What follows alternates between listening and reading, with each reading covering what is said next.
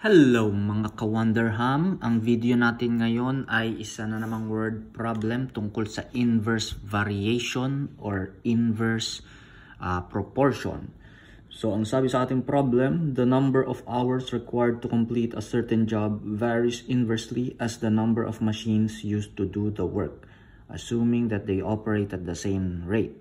If four machines can complete a certain job in 10 hours, how long will it take six machines to complete the same job?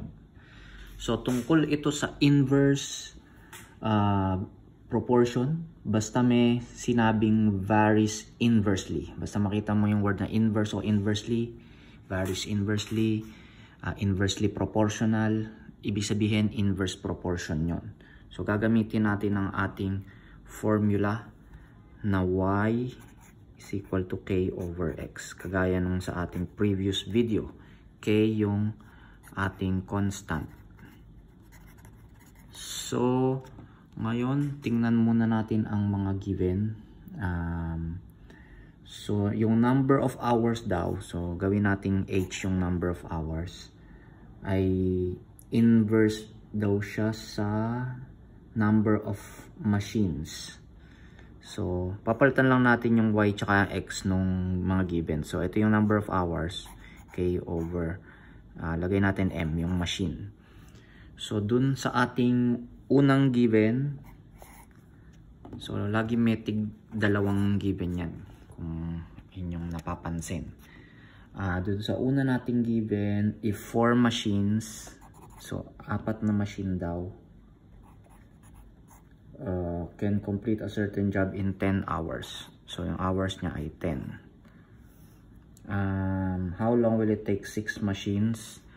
So, 6 naman, yung pangalawa.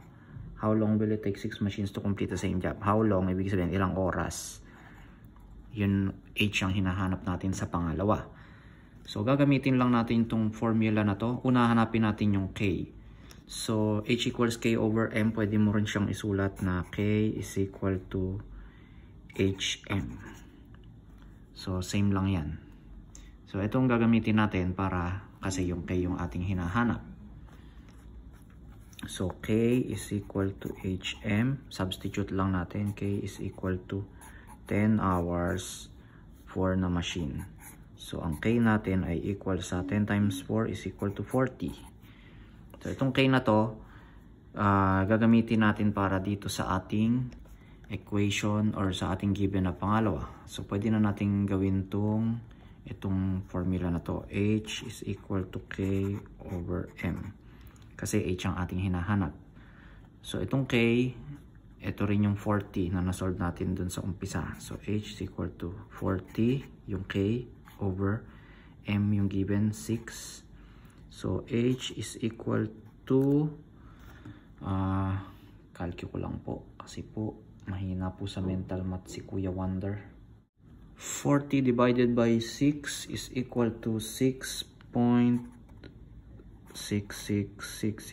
dire-diretso. So, round off na lang natin. 6.66 uh, 7 hours. So, yan ang ating sagot sa ating word problem. So kapag meron kang uh, uh, anim na machine, uh, 6.667 hours bago matapos ang job. Kasi kapag apat lang yung machine mo, mas matagal, 10 hours siya matatapos. So tinagdagan mo yung machine, mas bumilis yung oras na matatapos mo siya.